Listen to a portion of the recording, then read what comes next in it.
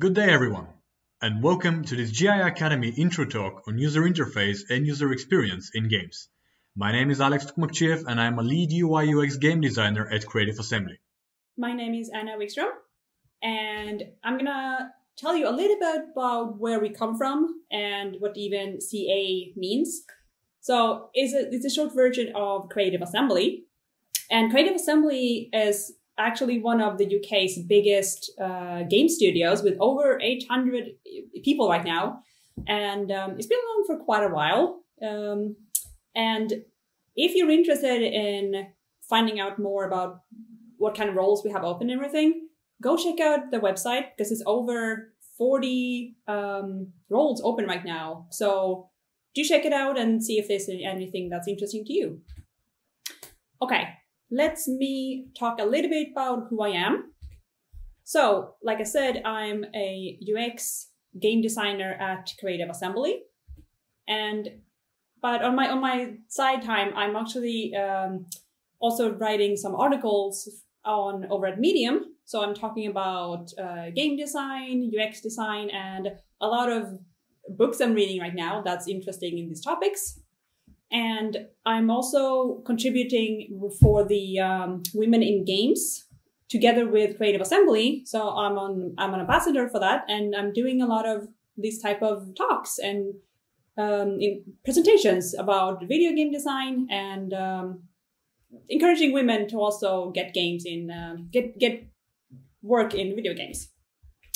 On my side, I'm in I'm actually very interested in uh, fantasy games, and I'm doing um, some games regularly together with some uh, of my colleagues, and we're playing Dungeons and Dragons. So let me talk a little bit about my background. So my first introduction to uh, video game design was actually to work on Star Wars Battlefront 2. As that was my introduction, I uh, worked there at DICE for um, finishing the game before it was released. And when it was released, I helped out on the extra game modes and updates coming on to the game. Um, it was a lot of fun to just add additions and listen to feedback, what people wanted to see in the game. And after that, I helped out a little bit on the Battlefield 5 game before the release. Um, but now I'm working on a totally new game here at Creative Assembly, but I can't really talk about it because it's a new IP, but it is a first person shooter. That's kind of everything I can say right now. If we look at how I got here and how I even got a job in the gaming industry, I actually started on a different side with photo and photography editing. Um, but after a while, I wanted to do something else. So I went to a design school at Hyper Island in Sweden. And then I moved on to doing some design in mobile design and on the UI side. But then I transitioned into the UX side. And that's how I got introduced to um, working at DICE. And I got into the game industry. So, Alex here again. Um, as I said earlier, uh, I'm a lead UI UX game designer on uh, Total War specifically. I'm also an avid uh, game jammer and organizer of Sofia Game Jam, uh, game jams are absolutely amazing, uh, an incredible way to uh, you know get a feel for what it means to create a create a game uh, in a short period of time and meet lots of cool people. So I strongly suggest attending one, whether it's offline or online.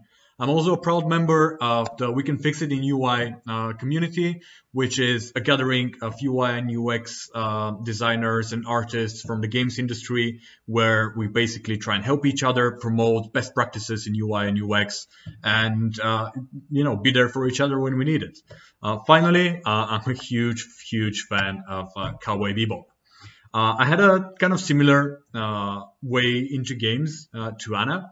Uh, I started uh, at a design school that I joined uh, when I was like 14. Uh, spent five years there, and then uh, immediately after I got out of school, instead of going to university, I was like, okay, I'm ready to work. So uh, I got a my first job was in web design. I did that for a couple of years before transitioning into mobile design. then doing work on product design, which is basically leading product design in terms of UI, UX, and features uh, for e-commerce, online banking, and other software tools. And at one point, I was like, okay, none of this is making me happy. Let's finally pursue the one thing that I really, really am passionate about and want to do. So uh, I decided to transition to games, and that's how we're here. Uh, for the past few years, I've been working uh, solely on Total War. Uh, I was the lead UI designer on a Total War Saga Troy, and then on its huge expansion, Total War Troy Mythos, which brought like all of the ancient Greek mythical monsters to uh, to Troy uh, and let you tame them and fight with them. And I've also uh, helped out the teams on uh, Total War Warhammer 3 and Total War Arena. Right. So let's move to the to the actual topic of this uh, of this talk. And the first part of it is WTF is games user interface. And um, I'm, just going to show you a screen and that's going to explain everything for you. Trust me. Boom. There we go. It's pretty much this. UI is an, amalgamation of buttons, bars, icons, menus, maps, counters, trackers, labels, text, tooltips, and Lord knows what else. I mean, sure, uh, this screenshot from World of Warcraft that even uses custom user interface is pretty much the most extreme and possibly ugliest and most overwhelming UI that I can show you as an example. But it really does have everything and uh, is a good illustration of what UI is. Sure, this is bad UI, but it is still UI. However, uh, UI is actually so, so, so many things. So let's go through some of them. You know, on a more serious note, uh, it's just you might be thinking that UI is just all those things that I just uh, went through, but it's actually more than what most people imagine. So, for example, UI gives us a way to present information to the player in a beautiful way that matches the overall aesthetics of the game. Like in this screen here that we have from Total War Three Kingdoms, where the reforms, also known as the technology tree uh, UI, that is so, so very common in uh, strategy games, is quite literally presented as a cherry that blossoms and grows with each technology you, research. You start off you start off small and you see where all the branches are. You see the icons, but uh, it looks like a dead tree until you start actually unlocking and researching the different reforms, and then all of it blooms together.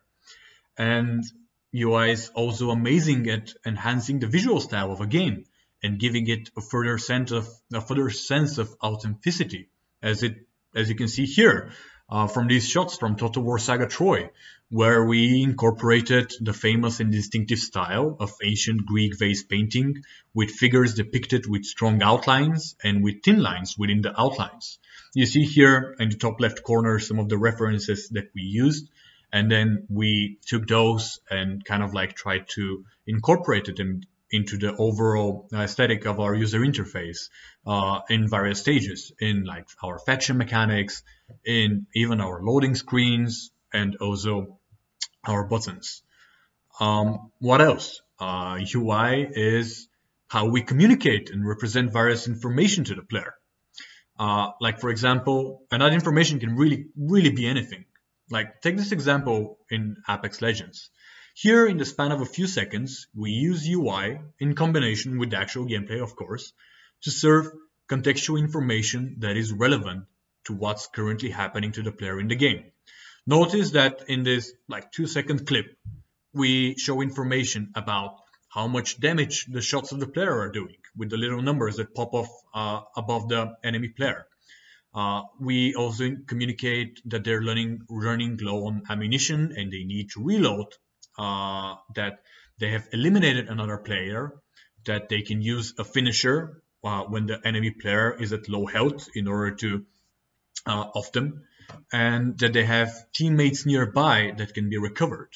And that is on top of the rest of the uh, UI information that is constantly visible and provides navigational, orientational, and player state information. Here's another example from Apex Legends that shows that UI is also one of the main ways that the players can interact with the games we make. And just like with communicating information, the variety of those interactions is pretty crazy. Uh, let's go through a few. Like for example, here we have choosing a weapon via a ring menu. very, very common uh, in first-person shooters or in third-person action games, especially those that are on consoles, because that's an incredibly intuitive way to actually quickly switch between different um, uh, items, whether they're weapons or support items or whatever. Or here in Dishonored 2, where we use UI, or the player uses UI to navigate through the various menus. Here we can see the main menu that uh, the, the player is at, and they go to the options, which puts them into a submenu, and so forth and so on. Uh, what other interactions we have? Take this example from Tom Clancy's The Division 2, where the player is uh, browsing, searching, filtering, and equipping items. So basically, we have uh, full item management interactions that are, uh, that are exposed to the player. Or uh, this example from Alien Isolation, where through UI, the player can interact with in-game models, in, in-game items. Uh, so for example, in here, they've opened up this little uh, kind of like chest thing, and uh, they can decide to either take all of the items from it, or uh, take a specific item, or just leave it be and exit. And there are many, many, many more examples of how UI can be used. So, what is the purpose? Right. Let's sum up some of the things that we've gone through. So, number one, uh, the number one purpose of UI is to communicate to the player, and that is incredibly important. Sure, we we can use the game itself, uh, the environment, to communicate to the player whether they're, for example, taking damage, uh, or how fast they're running, or where are enemies. But the interface sits on top of that, and it makes it even uh, it makes it that much easier for players to tell what is happening. And then there are some things that cannot be accomplished just in the game itself, like for example, you know, navigating through all of the uh, menus, changing settings, uh, and customizing the game to the player's liking. The second purpose is allowing the player to interact. So this, go this goes two ways. First, the player can interact with the game via, via the user interface, but we can also interact with the player through the UI. And the final one is to try and do both of these while looking stylish as heck. Because UI is an amazing way to give character and bring the atmosphere, even further enhance the atmosphere of the game. So you might be asking, okay, all this sounds sounds really cool. Uh, I can see where you're going for, but why why should I make games UI? I mean, what's in it for me? And to be honest, the number one reason that I always give, and the number one reason for me personally as a, as a, as a UI designer is that you'll never be bored. And trust me on that. Like, for example, UI encompasses so many things that you can do that uh, one day you'll be like, okay, uh, I'm a cartographer now. I need to create map a map that basically represents various points of interest to the player. I need to create the interaction between the player and the map so that they can browse it around, zoom in, zoom out. Uh, I need to make it so that they orient themselves good. So, you know, cartography, orientation skills that can be applied here. And then the next day you'll be like, boom, okay, now I gotta work uh, on uh, uh economy and provide a way for the player to actually trade the items that they acquire so that they can sell, they can buy, and suddenly you're designing an interface which is pretty much uh, uh akin to e-commerce and it needs to handle transactions, it needs to handle uh, making offers, selling, buying, rebuying if you if you sold the wrong item, and so forth and so on. And then the next day you come into work and like, boom, now I gotta make UI for this mini game that the player is going to be playing inside our actual game. You know, like uh, this example here from Deus Ex Mankind Divided, where you have this little neat um, hacking game, which is basically just user interface. You know, you just uh, browse around, you connect the different pathways, uh, and try and uh, hack different nodes uh, on the game. And then you're like, okay, great, I've done cartography now. Uh, uh, uh I, I, did uh, trading. Uh, I did UI for a mini game. Uh, comes next week, and boom, it's cooking time now. where you have to figure out you have a mechanic where basically the player can cook different meals in order to boost in some way their character. So now you're like, okay, we have ingredients, we have recipes. Uh, those ingredients can be combined to make uh, new recipes or you know use existing ones, and I need to show how those effects you know, basically affect the player character. And now you're designing a cooking app. And then it's like, okay, all of these cool things now need to be explained to the player. Boom, comes in tutorial. Now you gotta be now, now you gotta figure out a way to communicate all of these cool mechanics that are in the game uh, to the player so that they know how to actually play the game. And you're designing uh, information overlays and uh, tutorial to uh, tutorial pop-ups and other hints and stuff like that. And then you're like, um, we have character customization. Now you need to create an immersive way that's also that also that uh, allows the player to uh, customize their character and change every little detail on it. Their hairstyle their eyes uh, the size of their chin uh, the size of their lips uh, the the distance between their eyes. And you also need to make it uh, you, you not overwhelm the player. So that's that's that's the top reason.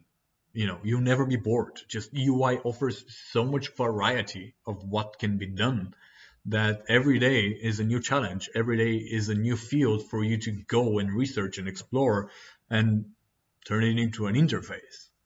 And but there's a second reason as well. User interface allows you to go wild. What do i mean by that? I mean you've probably noticed that in in the past five years or so the interface of most of the apps and software that you interact with has become pretty um, boring. And I mean, all of the websites now pretty much follow the same four or five template patterns and layouts.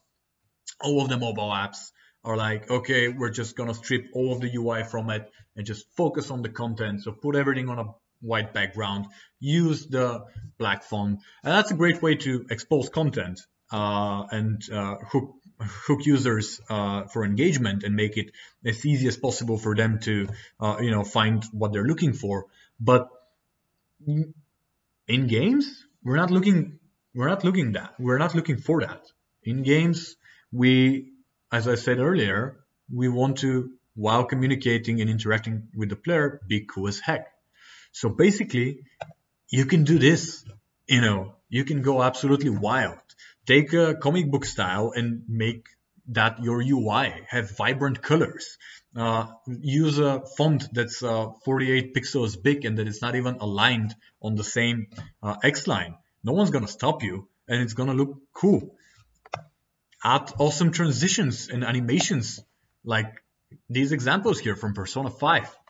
Check it out you don't see that in websites. You don't see that on Instagram or on the most of the mobile apps that all of us are using because they try to optimize for data. But in games, we can do it, and it it people are not going to hate it. No, it's, it's going to enhance their experience. It's going to uh, put them more into the atmosphere and the vibe of the whole game. So you can make all of these amazing graphical transitions. You can make the UI part of the in-game world itself. That's called diegetic UI, by the way. Like here in Alien Isolation, uh, where we have our protagonist uh, basically using this uh, gadget in order to uh, establish connections uh, and, commun- and, communicate and also hack or uh, hack various devices. So basically, you're going to be designing the UI for the device that's actually in game and the character is going to be interacting with it. Or uh, you can make the UI uh, feel like uh, the interface of the spaceship that the player is going to be uh, operating. Like here in Elite Dangerous, where uh, all of the user interface is like an uh, augmented reality overlay that sits on top of the game. And it's not just you know a standard static menu and just buttons here and there but it feels like the pilot of the spaceship which you are is interacting with every single one of these elements and they're looking at them. And uh, it, it, it, looks incredibly immersive.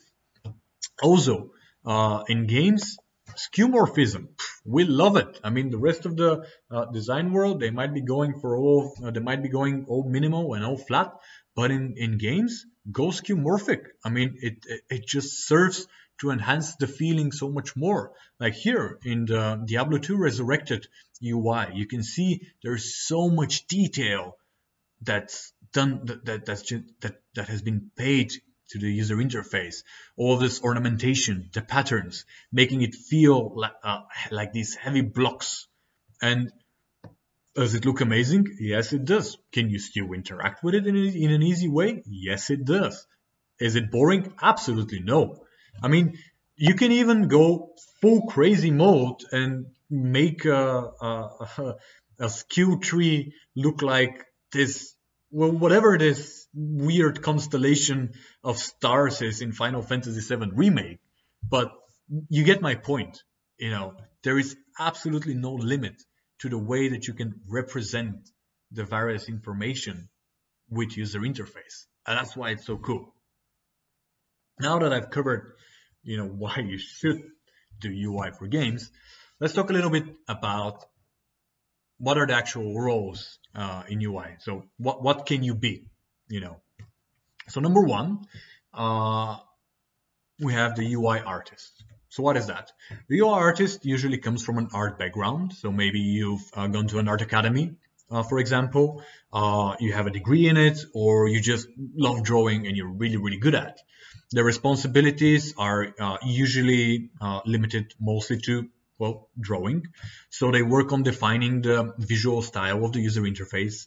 They draw icons, patterns, textures, backgrounds, various 2D assets that might be needed for the user interface as well um, and they uh, they very much focus on the aesthetic part of the UI.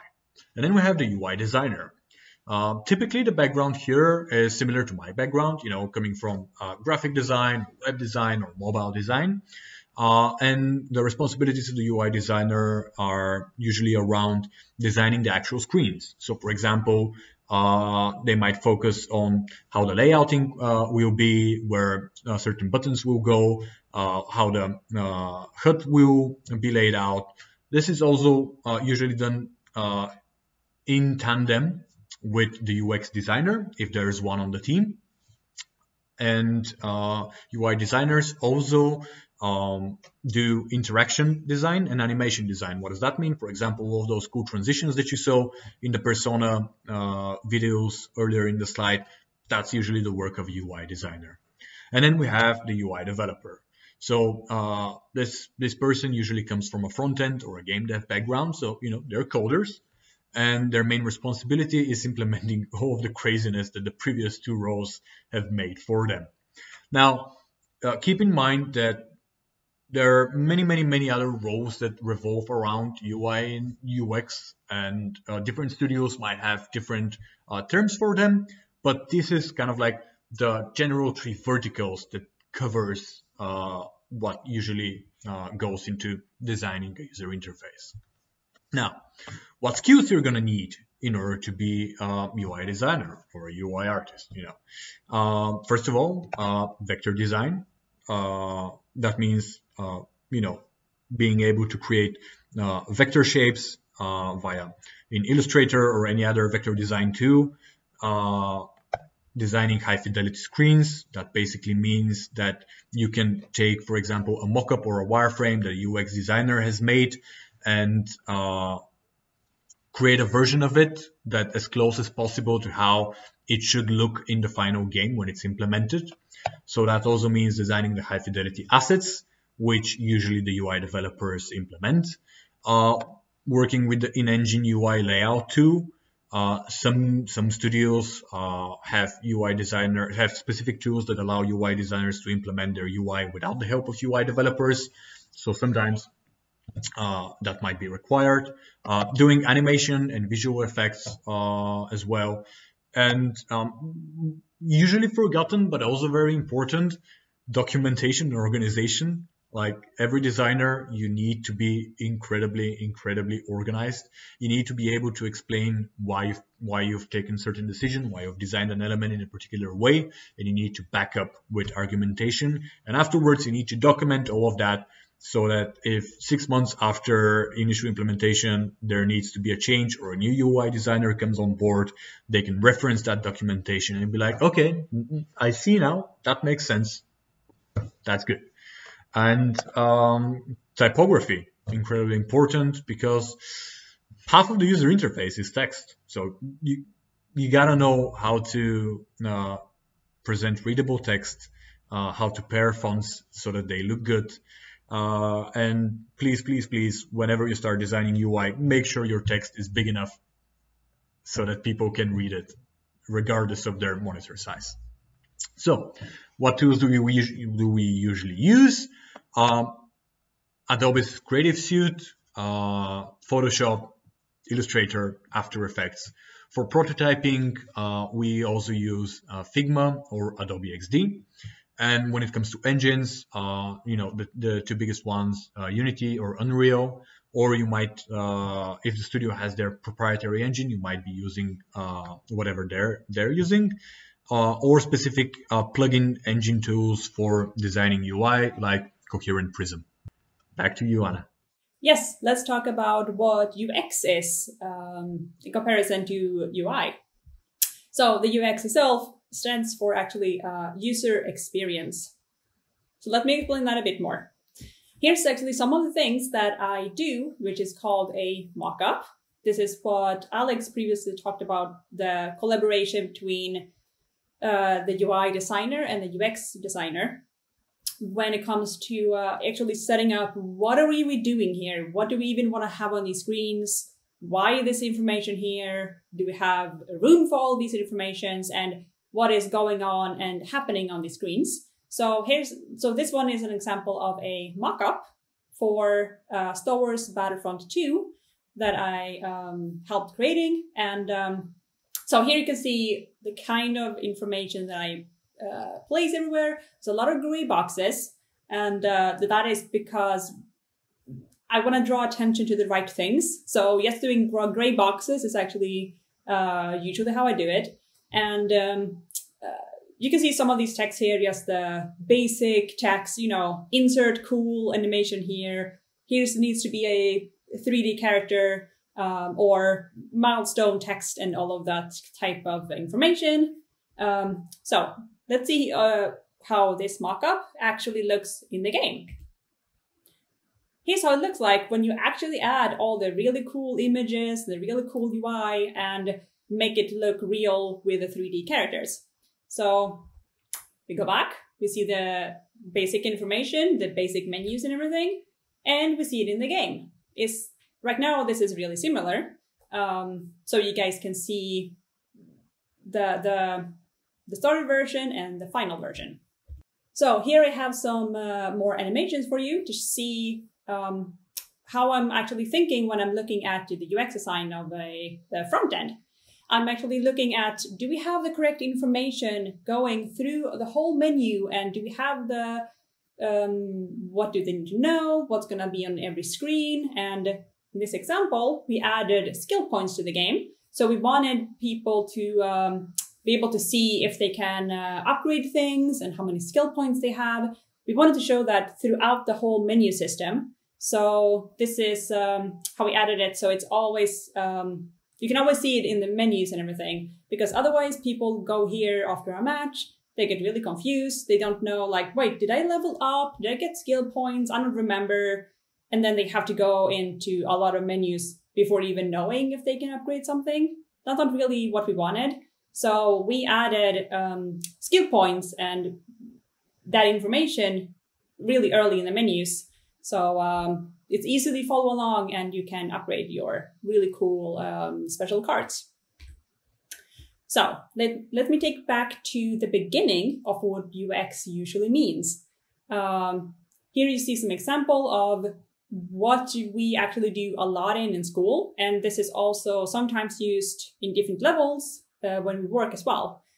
So UX is usually a lot of draw, going back to this draw board and um, sketching up ideas, sketching up uh, interaction flows and what we need on each um, screen. So this is usually means pen and paper. And it always comes back to that is a really good way to just get your ideas out of your head and get them on paper.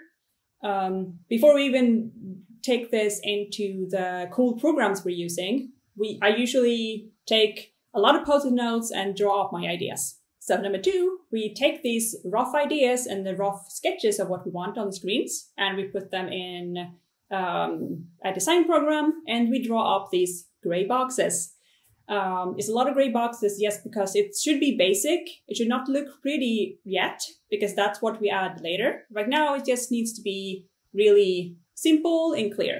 So here you see a new user sign up in a flow, and um, it really just uses a tool for us to basically draw up what we want the user to do and what buttons we need to have. So we can talk to the programmers and see if this is possible, if they see any problems with it, if there's anything we need to design for or fix in any other way.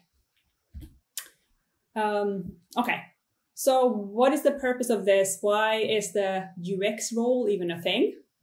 So um, similar to what Alex said with UI, um, UX design is also about communicating to the player.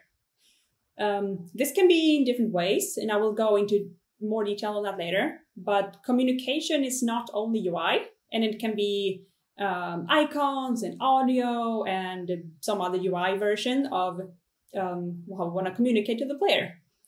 And the second thing is um, I'm looking at what is important for the player to notice at any time because we can throw everything at the player at once, but it's going to be so much information and overwhelming that you can't play the game because so much is happening. So a lot of the things I'm doing is prioritizing what the player need to notice in each segment of the game. And it's a lot of times removing all the uh, noise and annoying stuff. So you can actually focus on one thing. And so basically this comes down to, um, I'm making sure that the menus and gameplay is not confusing because if we throw everything at the player at once, you will not be able to notice uh, what you actually should focus on because there's too much happening. Okay, so what I touched on before is that UX is not only UI. What I mean with that is that there are, in video games especially, there are so many ways for us to communicate with the player. We can use audio. This can be just some simple sounds when you click on menus, uh, cool audio when you open the box to signify that yay, you opened the box and you got something really cool out of it. It's money. Yay, good. Like that kind of feedback. But it also can be um, me saying like, well, this right now, we really need the characters around them or the NPCs or other creatures around you to make, uh, give you suggestions and give you uh, feedback on what's happening in the game. And that can also be a way to communicate to the player that something inside the world is telling you what to do in the game. Another way of just uh, communicating is, of course, texts and descriptions. And this is not only for the text to be big enough to be readable, but it's also about what do you write? How do you give really clear instructions? How do you write uh, good menu buttons text that are not confusing? And um, a lot of a lot of other descriptions that if you're not careful, it can be really long descriptions and it can be really confusing. So sometimes you have to really back a little bit and make it simpler and just um, figure out a way to say something in a shorter way because people want to play the game. We don't want to read paragraphs uh, of too much text. So another way of communicating is also using the environment in the game itself. This can be um, me going through the game and seeing like, are we using signs or exit signs or text on walls or eh, other environment cues or light bulbs flickering and stuff? Is that drawing the attention of the player? Because that is also something that it can be really cool to add those stuff in a game. But if you just add all of these cool stuff, you can actually make it more difficult for the player to understand what the game, like where the, where they should go and everything. Because if you make a door in an alley, like a red door, and you add like a big sign of um, gold digger on the side of the wall, and then you add a flickering light on top, it feels like, oh, that door is going to have like a super secret uh, thing in it. I should go in there. And then you go up there and you can't open the door. That would be really confusing. Um, so it's really about figuring out that the environment doesn't give the right wrong signals um, to the player in the game. Another way we communicate something good in the game happening is to celebrate when um, the player does something good. It can be, you know, killing the boss, um, collecting enough money for something, or leveling up. So we want to celebrate this, and uh, it's about when we want to celebrate and how we want to celebrate you did something good and when you leveled up and what happens when you level up. Another way is also interaction with technology. And this means that the different, um, there's so many platforms right now out there and they have different way of interacting with technology. That means that um, for consoles, you use a controller. So the system with you, how you use your hands is different. For PC, it's different because you're using your mouse. And for mobile phones, you don't even have a lot of buttons. You can only use your fingers to press stuff. And that changes how you design the product and how you design a game because you kind of need to be able to click on stuff and swipe on stuff. But the games should be different because it's not easy to do a lot of complicated stuff. Another way of communicating to the player is to use VFX. And this can be, you know, a lot of in-game actions and uh, a lot of cool effects happening on the player. That this is a for me, usually a more fun way instead of just adding a big UI text that says, yay, you leveled up. You can add something really cool on the player, maybe to make look like you're boosted, you leveled up, you gain something. Um, so this is also a way to show the player that something happened. Yeah, so there's a lot of cool ways to communicate actually. Okay, let me talk a little bit about accessibility, which is a really hot topic for video games and all technology. Um, because accessibility is also a big part that the UX and the UI people are looking at. Um, so this comes down to that not everyone in the world, not everybody in the world is the same, and we can't play games in the same way. And this has been a big thing right now because technology is on this point right now where we can design good design we can design good games for everyone. So um, let me break this down a little bit. Uh, accessibility comes in different forms but it's usually um, how your body physically can't do certain things or is capable in different ways. And this can be actually that um, a lot of pc games or controller games it's actually difficult to use the controller in a in a way if you don't have the same mobility in your hands. So there's a lot of cool ways that people are um, using different controls right now for them to be able to uh, play games and have fun. Um, and another way is that not everyone has super good eyesight. A lot of us is using um, glasses or different ways like that or contacts. But there's also a lot of people in, the world that are colorblind in different ways. And we need to design the game that they don't have problem uh, playing the game because they didn't see a certain color sometimes. So that's one way of um, the UI and color needs to be addressed in this way. Um, and some other things that um, all of us are not um, don't process information in the same way, or we can't remember everything in the same way. Um, so games should not punish people just because you don't have good memory or you're really, really tired or there's a lot of information throwing at you on the screen right now and you're really stressed. And we should also think about how we design these things or so people can adjust the game themselves for them to have fun in the game. Uh, and we also have audio because even if we uh, we have characters in the game telling you stuff and go to the red door in the corridor and kill the boss, but if you can't hear or you can't pick up on audio cues that keep throwing at you, you might be missing a cru- crucial part of the game and you can't progress in the game. So there's a lot of ways that uh, accessibility actually affects how we play games. for example, we have here in Apex, um, this is the first thing that you pop up when you uh, want to play the game. Um, a lot of these accessibility options are actually shown right away when you start the game. So you have accessibility for text chats and uh, text to speech and a lot of that things. Um, because this is crucial when it comes to you understanding and enjoying the game. Um, and every game also has a lot of accessibility options in menus and stuff, and that is also comes down to me to figure out what fits in our game and what things do we want people to be able to adjust so they can play the game. So let's look a little bit on what you can actually work on in UX. We have some different roles here. Um, for me, then, I'm a UX designer, so I'm doing a lot of wireframes and mockups and layouts and uh, listening to feedback and everything, um, and that kind of stuff. But then we also have someone that's specific about talking to users, and they're called user researchers.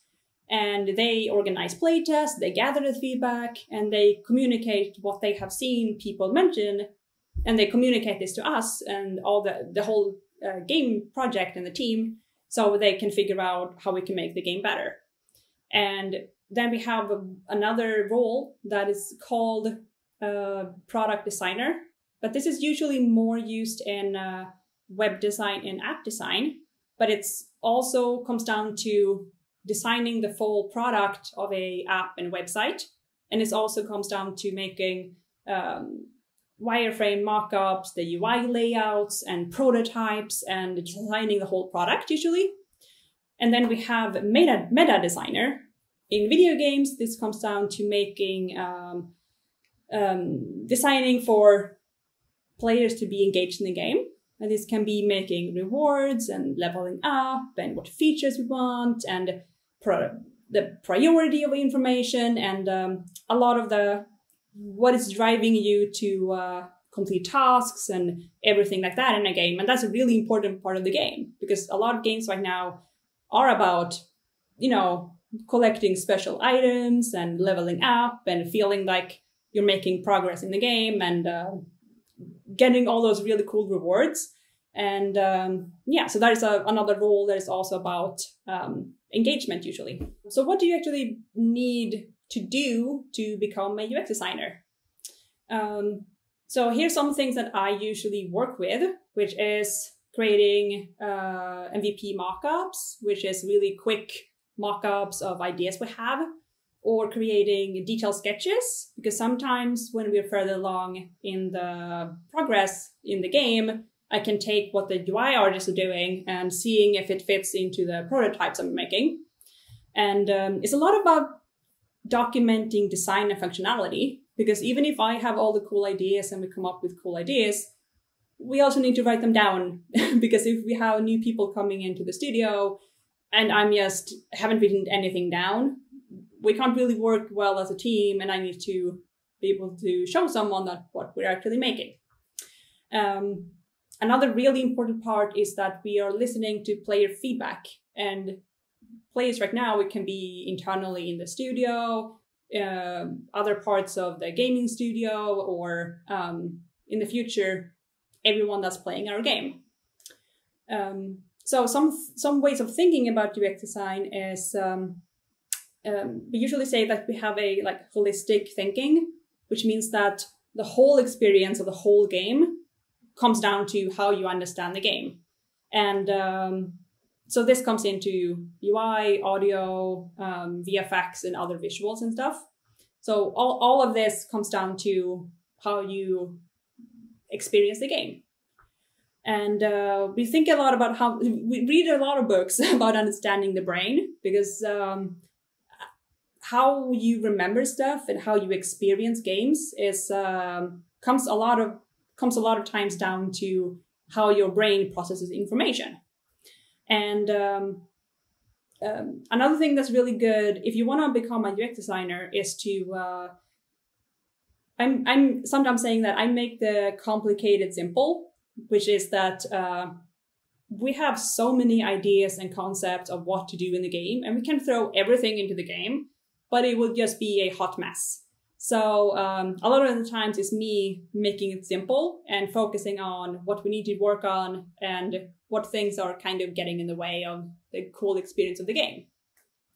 And um, uh, UX designers usually have you need to have a lot of empathy for players and the problems that are having because um, that is usually that's basically what i'm doing all day i'm fixing problems so players can actually enjoy the game and because if, they're annoyed if they're confused if they get angry at the game they're not going to have a fun time so that is actually a really important part that you actually empathize with them and you agree with them that, yeah, you shouldn't struggle with this part of the game. I'm going to make it better.